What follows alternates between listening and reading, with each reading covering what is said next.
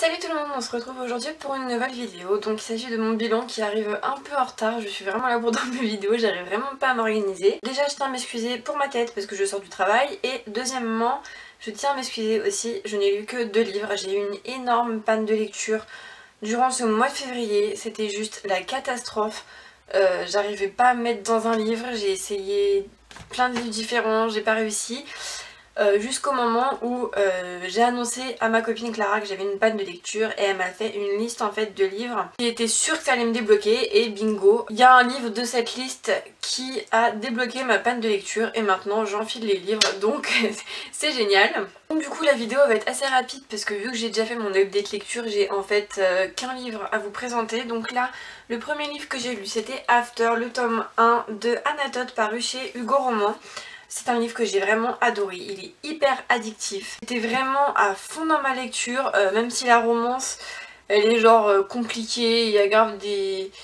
Il s'engueule tout le temps, mais au final, en fait, c'est tellement bien, je vous jure, ça vaut vraiment le détour. Par contre, j'avais commencé euh, du coup à lire le tome 2 parce que j'ai commencé plein de livres hein, pour me faire débloquer ma panne là.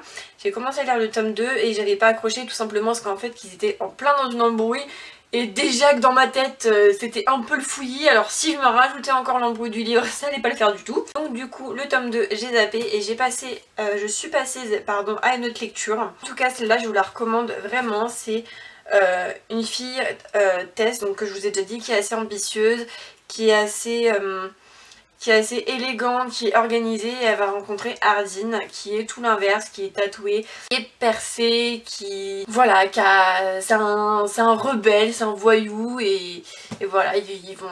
Voilà, la couverture euh, est assez explicite je trouve.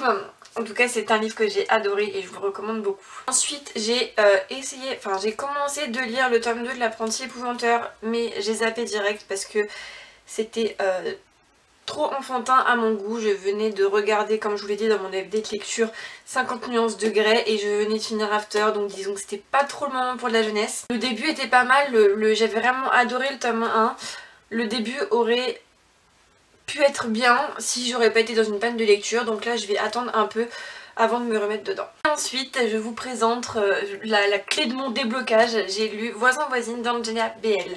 C'est l'histoire en fait d'une prof qui et célibataire qui a pris ses petites habitudes du genre se balader en petite culotte dans son appartement ou de danser ou de peu importe des petites habitudes comme ça comprend qu'on est toute seule chez soi.